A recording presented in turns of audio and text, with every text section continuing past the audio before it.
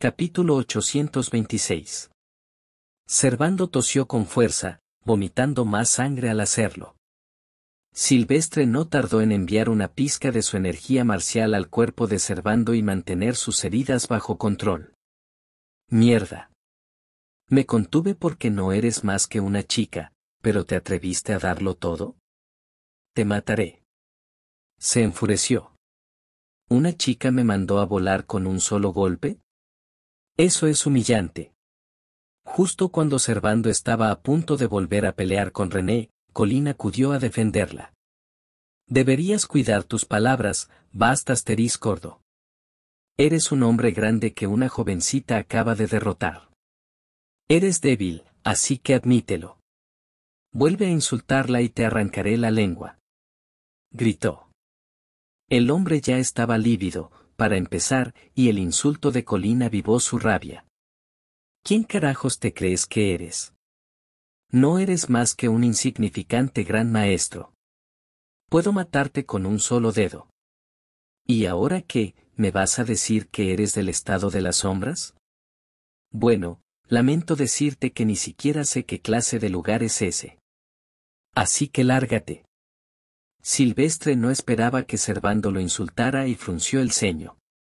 Colín se sintió amenazado después de recibir esa clase de insulto. Hizo un gesto con la mano hacia abajo, y sus lacayos acudieron a respaldarlo.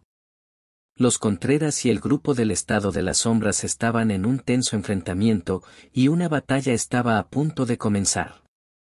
Señor Samudio, mi hermano no quiso decir eso, estaba siendo impulsivo.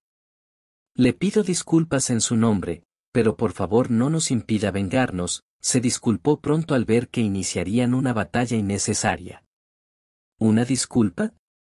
Eso es inútil. Dile que se postre ante mí y puede que me plantee dejarlo libre. Colín rechazó la disculpa. La réplica hizo que la cara de Silvestre cambiara. Señor Samudio, le sugiero que se aparte de esto. Sé que usted y sus hombres son poderosos, pero los de la familia Contreras tampoco somos presa fácil. Sus ojos brillaron con frialdad. Sin embargo, la amenaza de Silvestre no surtió efecto, lo único que hizo fue echar más leña al fuego. ¿Los Contreras? ¿Qué clase de familia es esa? Si quieres una pelea, tendrás una pelea. Agitó la mano. Acaben con ellos. Muéstrenles de qué estamos hechos. Se retiró del campo de batalla. Después de todo, no era más que un gran maestro.